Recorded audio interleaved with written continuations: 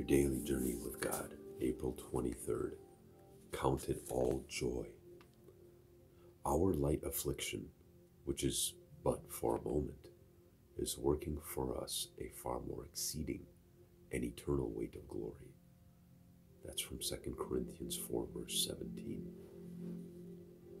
As Christians, we live by a principle that flies in the face of modern human sensibility.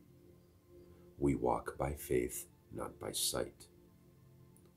While the modern man says, I'll believe it when I see it, the spiritual man says, I believe God's word whether I see it or not.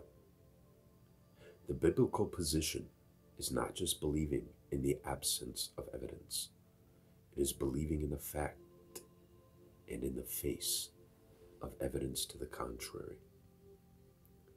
Take James 1, verse 2, for instance. How are we to have joy in the midst of trials?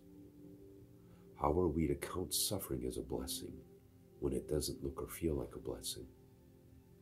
Is that just a game? Just an example of mind over matter? No.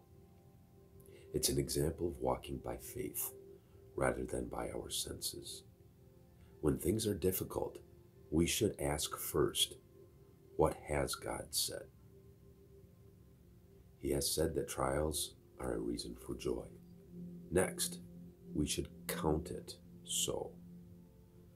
That is, we should say to ourselves, I choose to believe that the situation I'm in is a potential source of joy in my life, regardless of how it feels, because that's what God has said.